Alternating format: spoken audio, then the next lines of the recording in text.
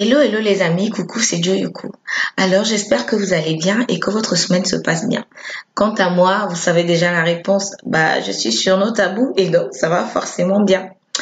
Et donc aujourd'hui, je viens vous inviter à, une petite réflexion autour euh, d'un sujet, c'est celui du choix.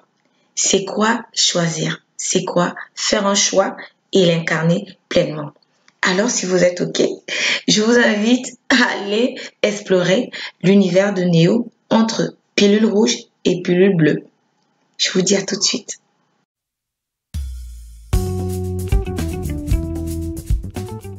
Je vais commencer par vous raconter une petite histoire. Alors, euh, euh, il y a quelques années, euh, j'ai eu une petite discussion avec un ami que j'aime beaucoup, comme tous mes amis d'ailleurs. Et euh, je me plaignais hein, une énième fois, comme euh, d'habitude de ma vie. Euh, voilà, j'ai des problèmes, je ne suis pas bien, je suis pas au bon endroit, je ne suis pas heureuse, j'ai l'impression de vivre la vie de quelqu'un d'autre, j'ai l'impression de passer à côté de ma vie, et patati, et patata, encore et encore et encore. Alors, cet ami, avec un calme olympique, euh, m'a carrément, m'a gentiment répondu que voilà, qu'il en avait marre, euh, ses oreilles commençaient un peu à chauffer euh, avec les mêmes plaintes tous les jours, tous les jours. Quoi. Il m'a dit Joséphine, tu sais, tu as fait des choix. J'ai fait des choix. Bah, comment elle pouvait me dire ça? J'ai fait des choix. bon, bah, je reconnais que hein, la vérité blesse, mais le sang ne coule pas ça claque quand même. Ça m'a bien claqué parce que euh, la vérité, c'est quelque chose qui qu'il faudrait qu'on apprenne à dire aux gens qui, qui nous sont, euh, comment dire, importants. Même ceux qui ne sont pas. Parce que c'est dur à entendre au début, mais ça fait toujours son petit bout de chemin et euh, ça ne peut être que bénéfique à la personne qui la reçoit. Et donc, pour ma part, cette réponse a commencé à faire son petit cheminement dans mon esprit. Juste un petit mot de cinq lettres est venu me percuter si fort que voilà, j'ai euh, voilà, j'ai j'ai ma vie qui s'est qui, qui, qui, s'est déroulée comme ça devant moi en perspective quoi. Bah, qu'est-ce qui se passe? Pourquoi je suis pas bien avec ça? C'était comme euh, le mot choix était comme un accélérateur quoi. Un énorme coup que j'ai dû euh, euh, moi qui n'aime pas euh, en général faire le chemin dans le sens inverse me rendre à l'évidence qu'il fallait le faire. Et on dit souvent que il ne faut pas souvent regarder que où on est tombé mais peut-être regarder où on a glissé. Et donc un petit bilan s'imposait sûrement un diagnostic de ces choix qui m'avait conduit jusqu'ici s'imposait absolument. Lorsqu'on arrive au monde, nous sommes euh, voilà des bijoux, un bijou brut qui n'est pas taillé quoi. Euh, nous sommes innocents et euh, notre environnement culturel, familial va et la société va s'atteler à tailler ce petit bijou brut là. Donc, euh, pendant que la famille va faire, la famille et l'école va faire office d'éducateur, euh, on aura aussi euh, des petites suggestions qui vont arriver de partout. moi, par exemple, hein, je suis la génération télévision. puisque je viens d'un pays où la télévision est arrivée à peu près au moment où je suis née. Donc euh, voilà, j'ai lu des harlequins, euh, voilà, j'ai regardé des séries d'amour et ensuite il y a eu Internet. Et donc voilà, vous, connaissez la suite. Maintenant on a Internet, on a les réseaux sociaux, on a on a la totale quoi. Et donc euh, il y a aussi les jouets. Mes jouets collaient parfaitement avec cet environnement. Donc autant j'avais à la télé les séries d'amour et tout ça, autant j'avais des jouets qui voilà, je joue à la poupée euh, et mon petit voisin il joue à la guerre. Euh, donc voilà, des résultats des courses aujourd'hui. On peut voir ce que ça donne. Euh, donc toutes les filles, moi je vois la plupart des filles de ma génération voulaient ressembler à la poupée. on avait toute cette envie de, partir et d'évasion. Et euh, pourquoi pas de tomber nez à nez avec euh, ce prince charmant qui nous faisait tant rêver euh, à travers ce, ces, ces revues-là. En décortiquant un petit peu mon parcours, du coup, j'ai dû me rendre à l'évidence. En fait, pendant longtemps, je m'étais abreuvé de pilules bleues. Et là, voilà, il fallait que je, prenne la petite rouge. Et euh, la petite rouge est venue me faire comprendre que j'étais exactement à l'endroit où j'avais souhaité d'être. J'avais exactement la vie que j'avais choisi d'avoir. Euh, les suggestions m'avaient un petit peu, beaucoup, énormément même aidé. Hein. Et euh, de cogiter à tout ce bazar n'a pas été simple. Ça n'a pas été simple. J'ai essayé de résister même. Hein. Pendant longtemps, je me suis dit, c'est pas possible, c'est pas vrai. Mais si, ma chérie, maintenant que tu as pris la pilule rouge, tu vas ouvrir les yeux et tu vas voir que c'est ce qui s'est vraiment passé. Ouvrir les yeux et de commencer à reconnaître avec humilité que voilà, la plupart des choix que j'avais faits, je les avais faits, c'est moi qui les avais faits. Et donc, euh, je vais commencer à, à comprendre petit à petit ce que c'est qu'un choix. C'est quoi un choix? C'est quoi faire un choix? Euh, Même si j'ai hérité euh, d'une culture, d'une éducation, euh, d'une croyance et de tout le reste, aucun de ces mécanismes n'avait le pouvoir de choisir pour moi. C'est moi-même qui signais le décret de fin c'est moi, grâce euh, aux efforts et à la foi que j'ai mis dans tout ce que j'ai vécu et dans tout ce que j'ai pu réaliser, c'est moi-même qui avait permis à, que toutes ces choses prennent vie et qu'elles prennent forme. Un choix, ce n'est pas une chose anodine. C'est pas une chose, euh, voilà, anodine. Euh, d'ailleurs, un choix te représente et euh, on dit souvent que nous sommes nos choix. Il est parfois, il est même impossible de revenir en arrière. Euh, si on te demande de, faire un choix entre un bonbon et un biscuit, c'est facile.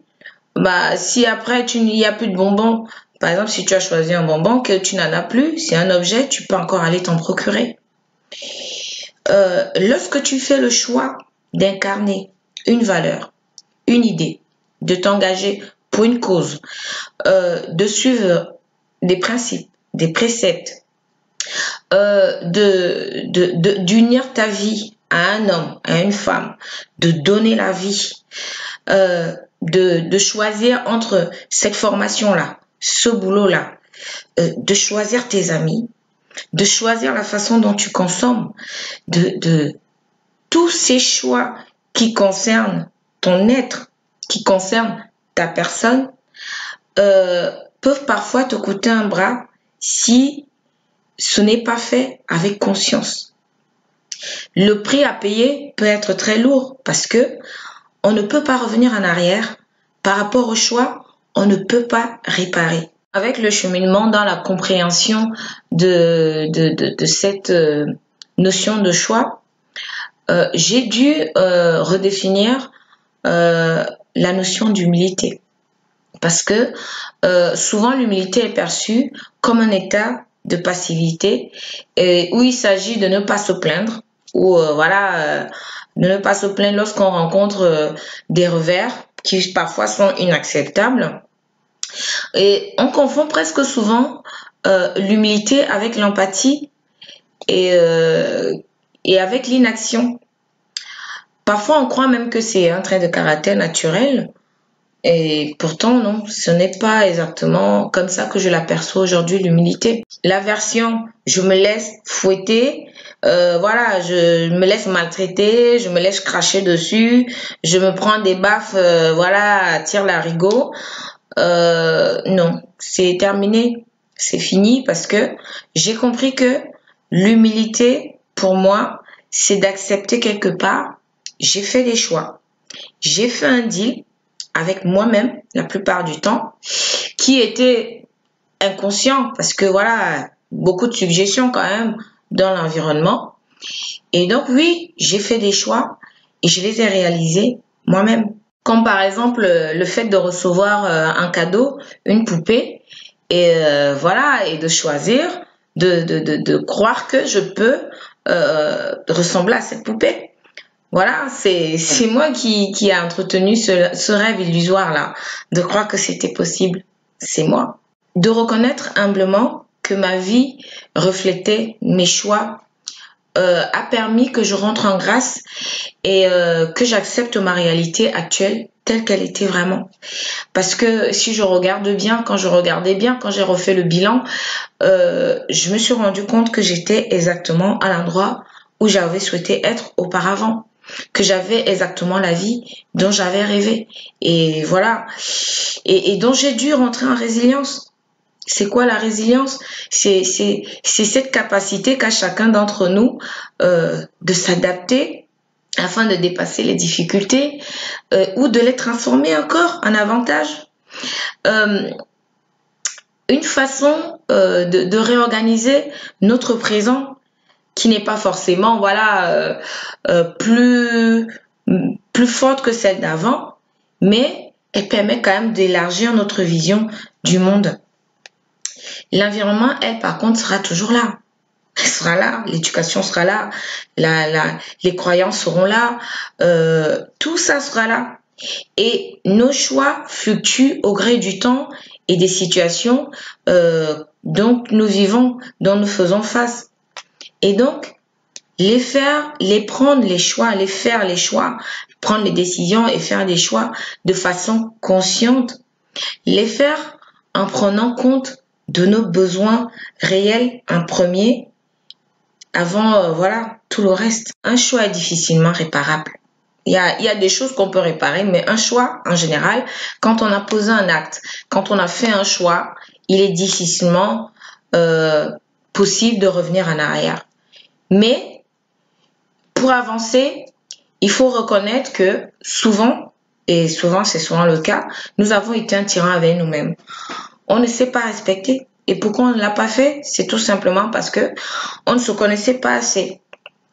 Euh, aujourd'hui, on s'achète des, appareils euh, électroménagers en tout genre. Téléphone, machine à laver, machine à coudre et tout ça. Et quand on achète ces appareils, on lit attentivement le, mode d'emploi pour ne pas abîmer nos appareils. Mais euh, nous ne faisons pas pour nous.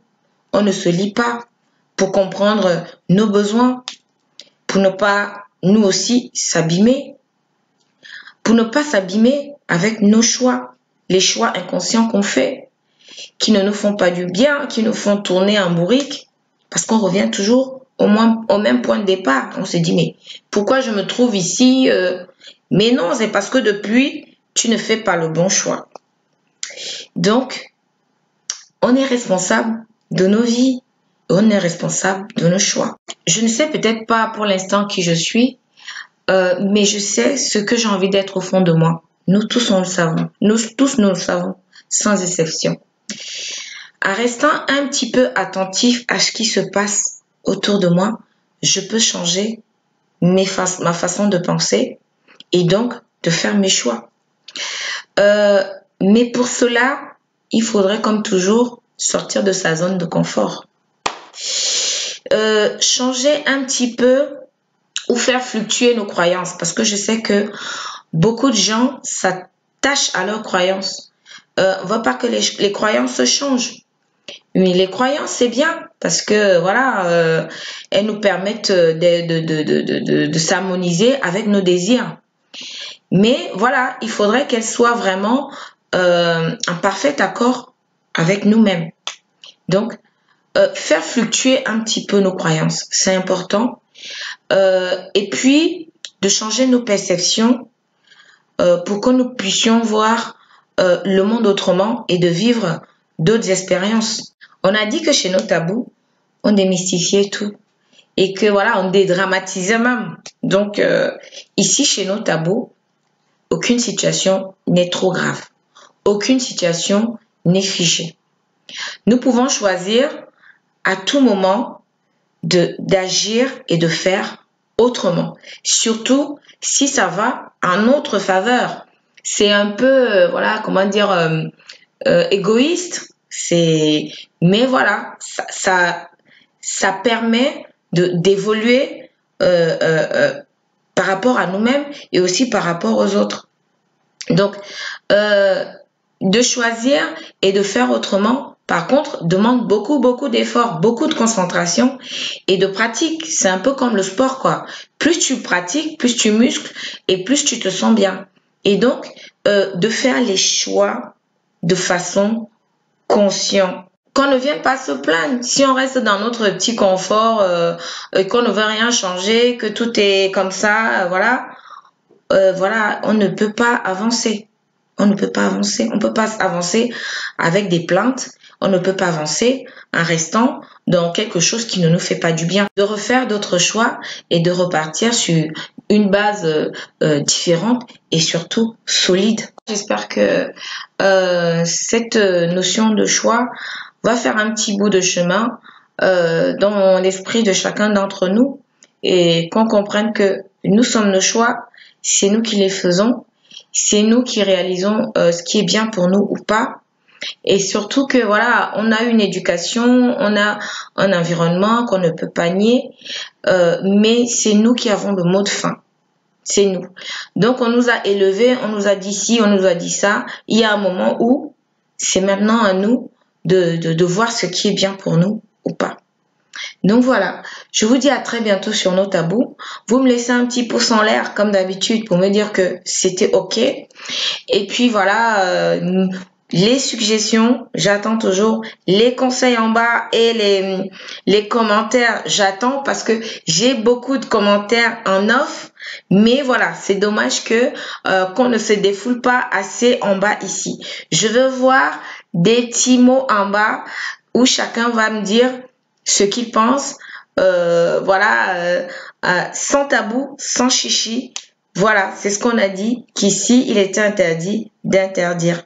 Allez, je vous dis à très bientôt sur nos tabous et surtout, prenez soin de vous et portez-vous bien.